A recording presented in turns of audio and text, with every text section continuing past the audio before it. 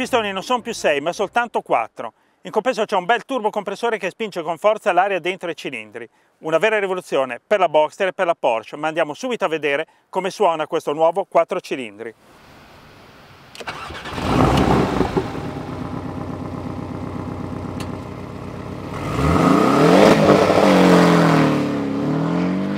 In effetti questo motore suona in modo parecchio strano, d'altra parte non può essere diversamente perché è un 4 cilindri boxer. Il rumore ricorda un po' quello delle Porsche degli anni 60, della 356 e poi della 912, ma le somiglianze con i motori di quel periodo terminano veramente qua. Questo 4 cilindri è completamente nuovo ed è molto molto efficiente.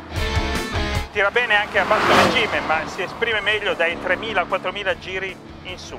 La progressione è notevole, veramente, superati i 4000 c'è davvero un altro mondo. La potenza viene erogata a 6500 giri minuto, ma in realtà la curva di potenza rimane molto piatta anche oltre questo regime e quindi lo si può sfruttare fino al limitatore che taglia però con discrezione a 7500 giri.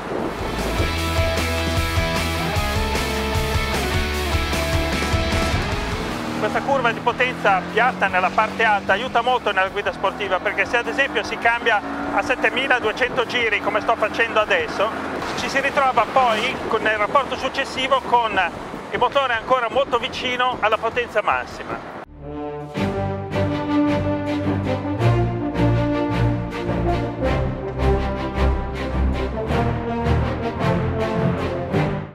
Il cambio PTK a 7 marce poi lo asseconda al meglio le cambiate sono rapide, puntuali, precise.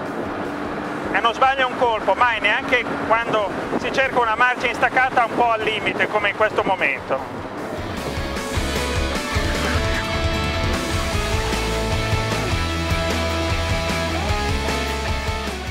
Restano poi tutte le altre qualità intrinseche della Boxster, un telaio spettacolare, molto molto ben bilanciato sui due assali, permette di affrontare curvoni veloci come questi con un assetto praticamente neutro. La macchina raggiunge praticamente contemporaneamente il limite di tenuta su tutte e quattro le ruote, per cui se non la si sbilancia, lei prende e comincia a sbandare su tutte e quattro le ruote, quindi con il massimo dell'accelerazione laterale.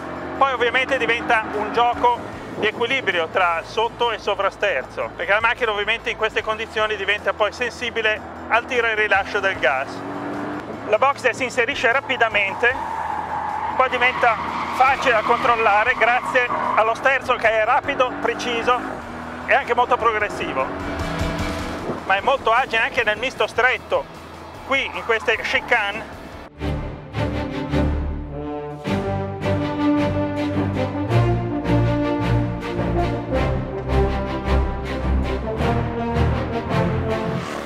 c'è sottosterzo, la macchina si inserisce rapidamente,